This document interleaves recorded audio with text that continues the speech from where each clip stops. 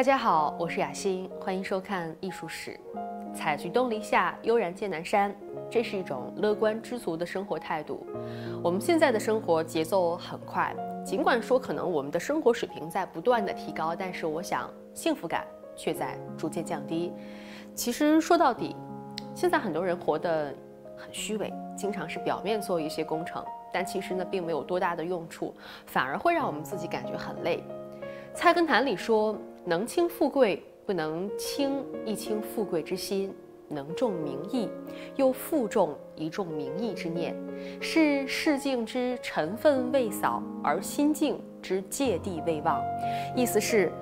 有的人呢，经常呢把金钱视为粪土这样的话挂在嘴边上，还表现出蔑视权贵的样子。但是，其实呢，在他们心里，反而比谁都看得更重。这类人真的是表里不一，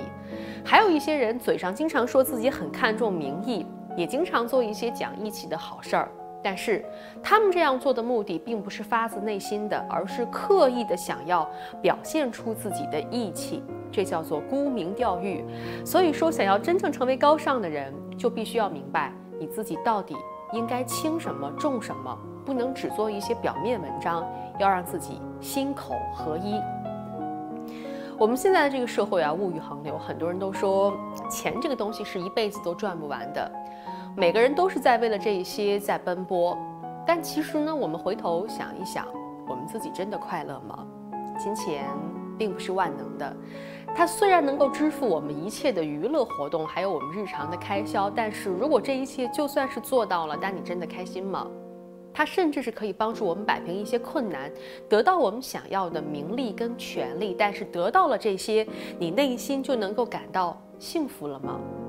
这些身外之物只是我们生活当中的工具，并不需要太看重。也许我们现在的环境确实给了我们很大的生活压力，我们很多人不得不这样做，因为生计。但是，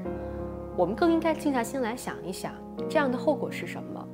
星云大师说。人生需要生活，也需要财富。财富可以让我们的生活变得更好，但是当我们不惜用生活作为代价来换取财富的时候，得来的财富，我想也会变得没有价值，甚至会带来更大的痛苦。因为说到底，提升幸福感还是在于自己的内心，绝对不是嘴上说一套，心里想一套，